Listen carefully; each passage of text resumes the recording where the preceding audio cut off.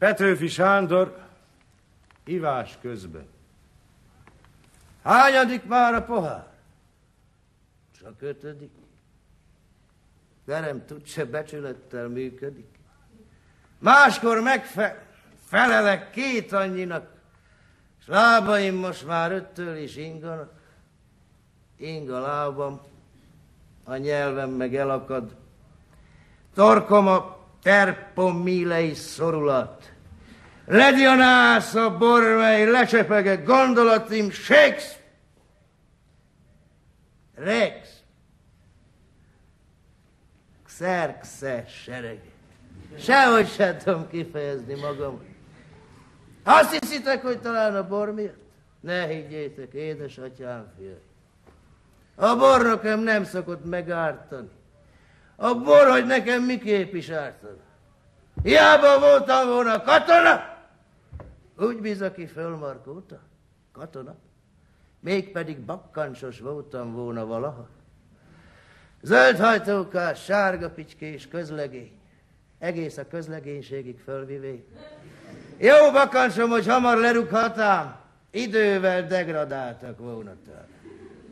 Mert a katonai pálya fenesík, legkivált az olyfélének, mint magam, kinek kisé akaratos feje van. Útmutatás nekem ne is adjatok. Szent Dávid hárfájára sem hallgatok. Ornál fogva engem senki nem szibál. Azt cselekszem, ami tetszik. Tudja, Pál, mit kaszál? Ej, de itt egyre másra, mint malom, csak szomjazok, csak szomjazok. Adjatok bort. A malom sem megyen, ha nincs ned, ami hajtsa bővibe. Hadd igyam hát, hogy forogjon kerekem, meg sem állok csak a kancsó feneke.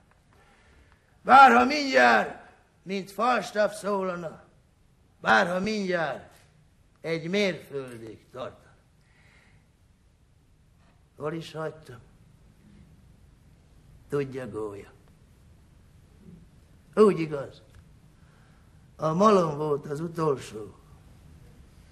Vagy nem az?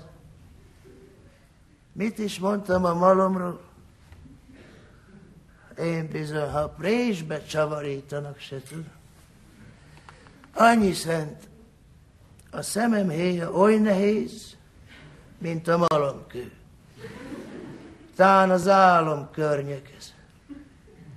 Elég is ma a tivornya. Ágyba hát. Álmodozzuk folytatását. Jó éjszakát!